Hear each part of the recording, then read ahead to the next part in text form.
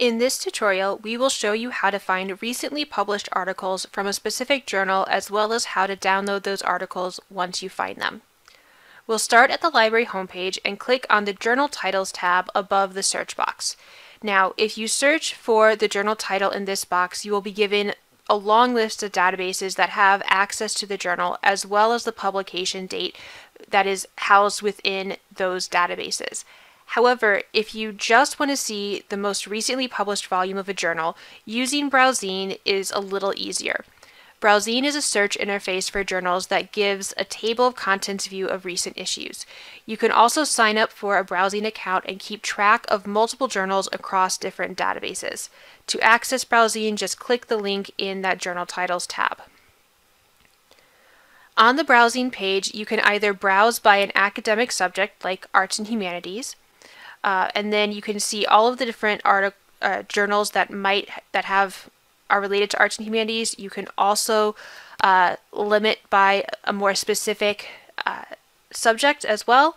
But if you know the title of the journal that you are looking for or the ISSN, you can actually search in BrowZine and then find the, the title within that results list that comes up. On the journals page, uh, it automatically shows the most recent issue that's been published. You can navigate to older issues by using the years and then volume controls on the right side, the left side of the screen. Okay. Um, if you end up needing to access articles that are older than what's being shown in BrowZine, the See All option at the very bottom links you to a results list in Journal Finder where you can see which databases have access to the years that you need. Okay. But if you know if your article is within the more recent years that are held in BrowZine, you can just go into BrowZine and there are a couple of ways to get to the full text of this article.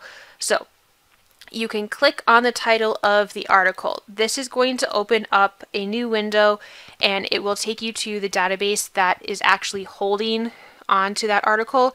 If you're off campus, you'll need to log in with your unique name and password at this point before you can see it in the, the database.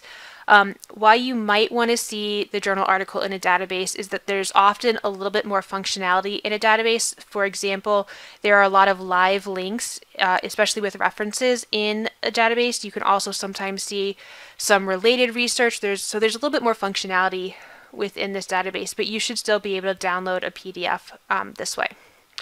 But if you just want a PDF, plain and simple, of this particular article on the BrowZine page, click the download PDF icon underneath the title. Again, you will need to log in with your unique name and password if you're off campus and have not logged in already. I've already done so. But it will open up a new window with that full text PDF right there. And now I can go ahead and download it. Depending on what browser you're using, the download might look a little bit different, but in my case, um, mine is up in the upper right corner. I click on download and I can either open it or save the file directly. In my case, it's going to go into my downloads folder and then I can rename this um, and then move it to wherever I want to go. All right. So that is BrowZine in a nutshell. It's pretty simple, um, but if you need more help with BrowZine or want more information about accessing full text articles through the library, we put together a playlist of tutorials on our YouTube channel. And if you have any questions about BrowZine, please ask a librarian. Thank you for watching.